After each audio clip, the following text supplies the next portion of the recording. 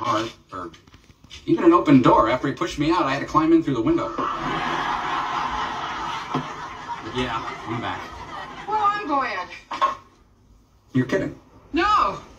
With you and the kid around, I won't have to hose down the washing machine so often. I'll get that.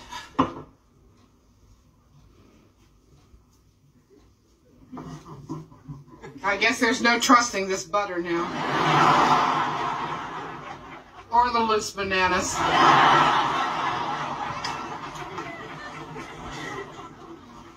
Hello, Alan. Judith? Hey, Dad. Hey, buddy.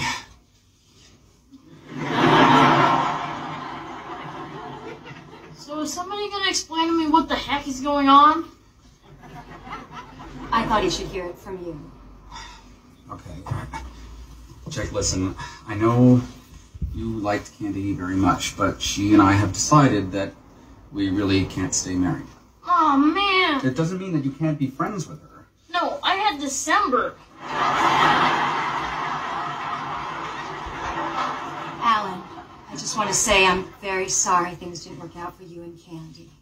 Thanks. You won the pool, didn't you? Yeah. And just FYI, I spoke to my lawyer, and he said that even if Candy takes you for everything you've got, you still have to pay me alimony. Here's his bill. Six hundred dollars? He explained it very slowly.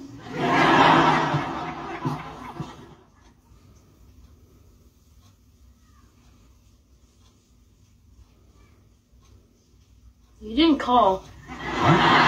When Dad moved out, you said you and me could still get together and do stuff, but you never called. Ah, Jeez, Jake, I'm sorry. I waited. I'll make it up to you. When? Later. Still here. What do you want me to do, Jake? I don't know. You really let me down, and it hurt my feelings. I know. I feel awful. Fifty bucks and it goes away. Ten. Done. Love you, Uncle Charlie. Back at you.